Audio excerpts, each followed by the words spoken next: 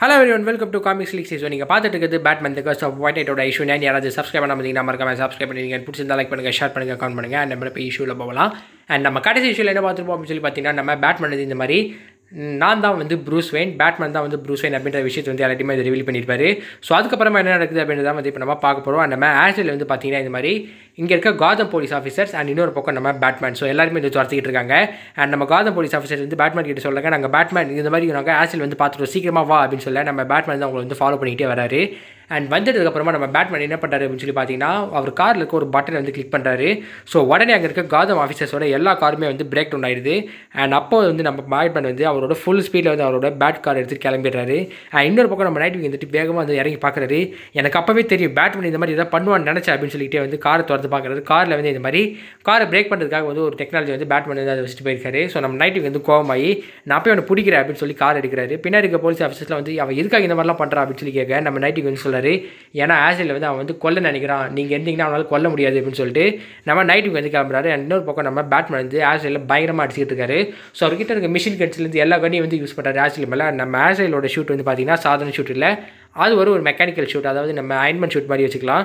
So அதாவது மேலே ஃபுல்லாக வந்து மெட்டலாக இருக்கும். அந்த மாதிரி ஒரு ஷூட் தான் வந்து அந்த ஷூட்டு ஸோ நம்ம ஆசிலுக்கும் பேட்மேனுக்கும் வந்து பயங்கரமாக ஒரு சண்டை நடந்துகிட்டு இருக்கு அண்ட் நம்ம பேட்மேன் வந்து வேகமாக கார் எடுத்துகிட்டு போய் வந்து இந்த மாதிரி ஏரோப்ளைனில் வந்து மோதிறாரு கீழே இருக்க ஒரு ஏரோப்ளைன் ஸோ அதில் வந்து மோதிறாரு மோதிட்டு நம்ம பேட்மேன் வந்துட்டு கன் எடுக்கிறாரு. நம்ம ஆசில் அதை பார்த்துட்டு கன்ஸா பேட்மேன் எப்போ இருந்த ஆளுங்களை கொல்ல ஆரம்பிச்சா? அப்படின்னு சொல்லி நம்ம ஆசில் வந்து கேட்க நம்ம பேட்மேன் எடுத்துகிட்டு நான் பேட்மேன் கிடையாது அப்படின்னு சொல்லி அவனை வந்து பயங்கரமாக வந்து சுட்டுறாரு.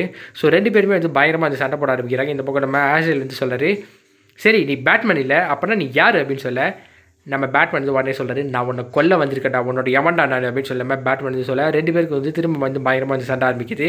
இந்த பக்கம் நம்ம ஆசிரியர் வந்து திரும்ப வந்து பேச ஆரம்பிக்கிறார் என்னென்னா இந்த மாதிரி நீ வந்து உனக்குன்னு வந்து ஒரு விஷயத்தை வந்து சந்தோஷம் அப்படின்னு சொல்லி தேட ஆரம்பித்த அந்த சந்தோஷம் வந்து உனக்கு வந்து எங்கேயுமே கிடைக்கல. அதுக்காக நீ உலகம் முழுக்க தேடின.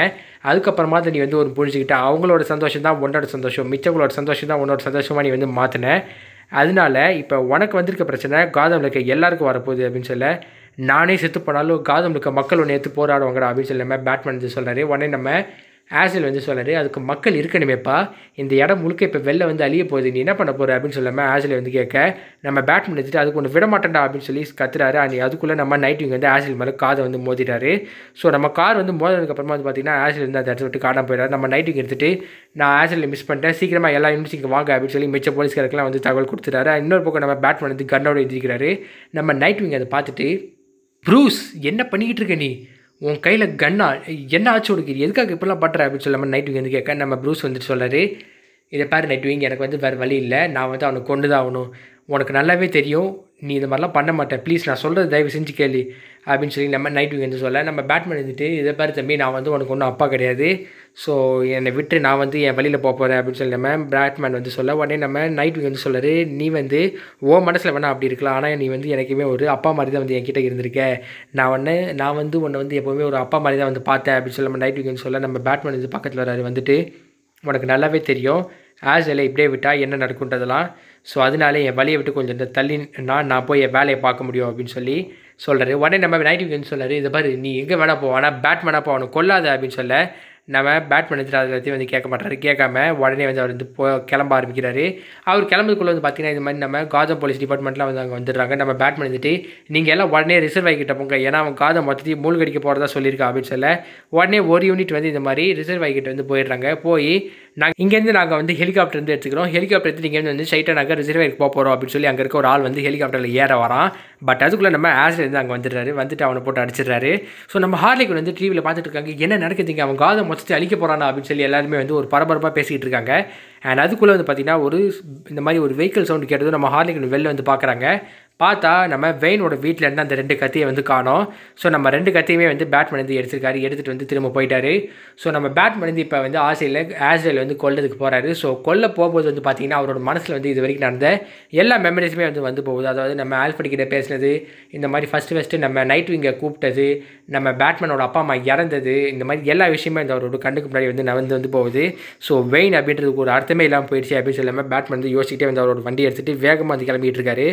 இன்னொரு இன்னொரு பக்கம் நம்ம ஆற்றில் வந்து ஹெலிகாப்டர் எடுத்துகிட்டு ரிசர்வாயரை வந்து போய் ஓப்பன் பண்ணலாம் அப்படின்னு சொல்லி போயிட்டு இன்னொரு சமயத்தில் நம்ம பேட்மேன் அவரோட கார் எடுத்துகிட்டு வந்து வேகமாக அது மேலே வந்து சுட்டுறாரு. ஸோ அதில் வந்து பார்த்தீங்கன்னா ஹெலிகாப்டர் வந்து பயங்கரமாக டேமேஜ் ஆயிடுது ஸோ டேமேஜ் ஆகி வெடிச்சு அப்படியே வந்து கீழே விழ நம்ம ஆசில் இருந்துட்டு ஹெலிகாப்டர்லேருந்து எழுந்திருக்கிறாரு இந்த பக்கம் நம்ம பேட்மேன் கத்தியோட வந்து நிற்க இந்த பக்கம் நம்ம ஆசில் வந்து சொல்லாரு பேட்மேன் நீனும் இன்னும் வளரவே இல்லை அப்படின்னு சொல்லி சொல்ல நம்ம ஆசில் இருந்துட்டு என்ன சொல்கிற நீ அப்படின்னு சொல்லி நம்ம ஆசிலில் பார்த்து வந்து பேட்மேன் கேட்க என்கிட்ட லேசர்ஸ் இருக்குப்பா அப்படின்னு சொல்லி நம்ம ஆசில் வந்து லேசர் வந்து நீட்டுறாரு. உடனே நம்ம பேட்மேன் வந்து கத்துறாரு.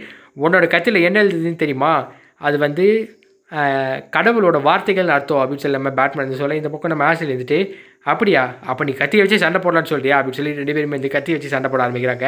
அண்ட் ரெண்டு பேருக்கு நல்ல பயங்கரமாக வந்து சண்டை நடந்துகிட்டு இருக்கு. ஸோ இந்த இடத்துல நம்ம பேட்மேன் வந்து பார்த்தீங்கன்னா நம்ம ஆசில் கிட்ட இருக்க எல்லா வெப்பன்ஸையும் வந்து ஃபஸ்ட்டு டிஆக்டிவேட் பண்ணுற மாதிரி பண்ணுறாரு இன்னொரு பக்கம் நம்ம ஆசில் வந்து அது கண்டுபிடிச்சாரு. கண்டுபிடிச்சிட்டு வந்து சொல்கிறாரு பேட்மேன் உனக்கு என்ன ஒன்று புரியல? நீ வந்து என் கிட்ட இருக்க எல்லா வெப்பன்ஸையும் டிஆக்டிவேட் பண்ணிவிட்டு என்னை வந்து தோக்கடிக்க முடியும்னு நினைக்கிறியா?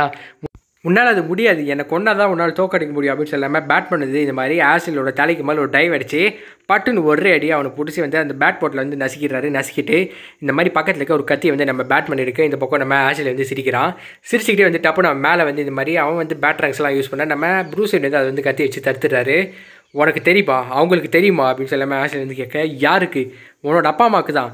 இந்த மாதிரி நீங்களாம் வெயின்ஸே கிடையாது நீங்களாம் ஒரு குப்பையிலேருந்து வந்தீங்க நீங்களாம் அட்டை பூச்சிங்க ஏழைங்களோட ரத்தத்தை குடிக்கிறவங்கன்றதெல்லாம் அவங்களுக்கு தெரியுமா அப்படின்னு சொல்ல மேட்ச்ல சொல்ல நம்ம பேட்மேனுக்கு வந்து ஆல்ரெடி கோவம் பயங்கரமாக இருக்குது கொலலான் ரைடர் தான் வந்து வந்திருக்காரு. ஸோ இவன் இப்படி பேச நம்ம பேட்மேன் வந்து கொஞ்சம் கூட யோசிக்காமல் கத்தி எடுத்து அவன் கழுத்து வந்து வீசிடுறாரு.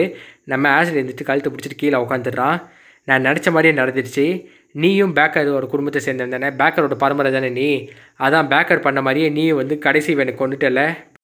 என்ன ப்ரூஸ்? நான் சொல்கிறது கரெக்ட் தானே அப்படின்னு சொல்லிட்டு நம்ம ஆசில் வந்து கீழே விழுந்துறாரு. இந்த ஒரு பக்கம் நம்ம பேட்மேன் வந்து மாஸ்க்கை கலட்டுறாரு நீ நினச்ச மாதிரியே கடைசி வெயினை கொண்டுட்ட அப்படின்னு சொல்லி நம்ம ஆசில் வந்து திரும்ப சொல்ல நம்ம பேட்மேனுக்கு வந்து அவருக்கே வந்து ஒரு கில்ட்டி ஃபீலிங் இருக்குது நான் உன்னை சாக விட மாட்டேன் அப்படின்னு சொல்லிட்டு வேகமாக வந்து வராரு. இதுக்கப்புறம் நீ என்ன பண்ணாலும் என்னை காப்பாற்ற முடியாது. நான் வந்து செத்து தான் போக போகிறேன் அப்படின்னு சொல்லி நம்ம ஆசில் வந்து சொல்கிறாரு ஸோ ஆசல் எப்படி வந்தார் அப்படின்னு சொல்லி பார்த்தீங்கன்னா நம்ம எட்மான் வெயினை வந்து பேக்கர் கொண்டுருவார் பட் ஆனால் எட்மான் வெயினுக்கு அதுக்கு முன்னாடியே வந்து ஒரு கேர்ள் ஃப்ரெண்ட் வந்து இருப்பாங்க. ஸோ அவங்களுக்கு பிறந்த குழந்தை தான் வந்து ஆஸ்டேல் ஸோ இந்த விஷயம் வந்து வெளியில் நிறைய பேருக்கு வந்து தெரியாது. வெளியில் நிறைய பேருக்கு இல்லை யாருக்குமே வந்து தெரியாது.